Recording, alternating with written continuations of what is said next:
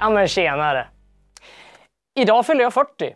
Men innan jag börjar storyn om mitt liv så ska jag berätta att jag är en mediaintresserad musiker som eh, slänger upp musik, eh, videor, lite allt möjligt på den här kanalen. Prenumerera om du vill det. Gilla videon så blir du, eh, ja då blir jag riktigt jäkla glad alltså.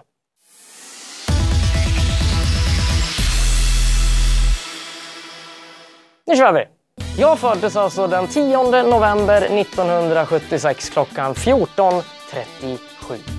Ja, du såg helt rätt. Den här videon är publicerad exakt samma tid men 40 år senare. Eh, alltså jag fattar inte själv hur det har gått till.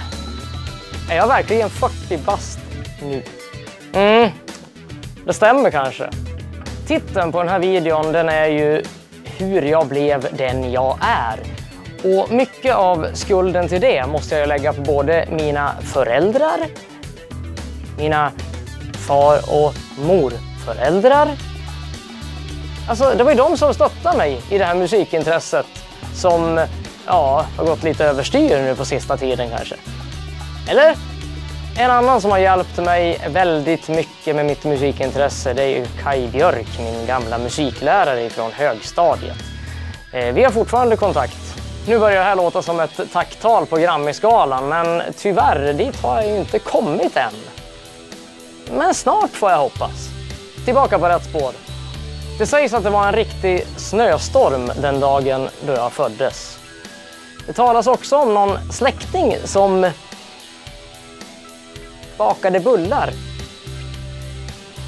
och tog dem direkt ur ugnen ner i en plastpåse ja, jag vet inte hur det var, men den där snöstormen den har jag hört talas om varenda år så länge min morfar levde. Då fick man höra om hur han satt där i bilen och kuskade från Gästrike Hammarby in till BB som jag gissar var i Sandviken på den tiden. Vi pratar alltså 1976, 40 år bakåt i tiden. Jag kan lova er att hade min morfar levat, då hade det varit han som stod här och berättade den där storyn nu istället för mig. Han gjorde det mycket bättre. Mitt musikintresse det kom tidigt. Redan när jag var fyra år så spelade farfar in mig på kassettband. Eh, jag har ett sånt ligga hemma men jag hittar liksom inte någon kassettspelare så annars hade jag kanske spelat upp det.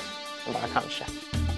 När jag var tio då tröttnade jag på att ringa runt och leta efter gitarrister så att eh, ja, jag såg till att lära mig att spela gitarr. Kenneth Lundberg heter han, min hittills enda gitarrlärare. Han lärde mig några ackord Eh, och sen tyckte jag att det räckte med ackord. Nej, jag tyckte att det var roligare att spela låtar. Så att eh, ett år efter jag slutade kommunala musikskolan så hade jag väl lärt mig att spela runt 100 låtar. Eh, alltså ackordföljder och texter och sådana där saker. Åren som gick efter det så började jag skriva egna låtar och ja, vet ni att jag är uppe i runt 400 låtar i Stims databas.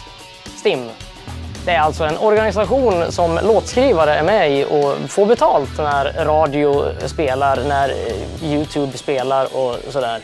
Eh, jag har varit med där sedan jag var 15 år men eh, det har gett 1200 spänn hittills. Under högstadiet så började jag också intressera mig för media och det var till radio. Det var både Radio Backbeat, Radio A Eh, Radio Ljusdal, ja och så sen då Radio Sandviken som jag höll på med ända fram till augusti förra året då jag slutade helt frivilligt. Under mina sista år på Radio Sandviken då startade jag och Kalle Gustafsson upp Latina. Duon som jag spelar i nu åker runt i hela Sverige och gör ja, väldigt mycket gig. Eh, runt 100 per år har vi räknat ut att vi var uppe i de senaste två åren. Men det är väldigt sällan här runt omkring Sandviken och det tycker jag är synd. Jag vill gärna spela lokalt så att eh, är det någon arrangör som ser den här videon, dra iväg ett mejl till info at platinamusic.se. Vi kommer gärna. Ja, då är det den där 40-årsdagen då. Och jag har egentligen inte några önskningar. Ehm, ja, jag har väl en sak då, men det tror jag inte någon kan hjälpa till med så mycket. Ehm, det är väl att vår just nu rätt så kassa ekonomi ska bli bättre. Det kommer den att bli. Det börjar gå uppåt, uppåt, uppåt hela tiden och vem vet, en dag så kanske. Nu blir det lugnt i ungefär en vecka. Nästa fredag ska jag ha min riktiga 40-årsfest på Granliden i Storvik. Alla är välkomna. Kom dit och partaja för 17. Och du, glöm inte bort att prenumerera på min Youtube-kanal.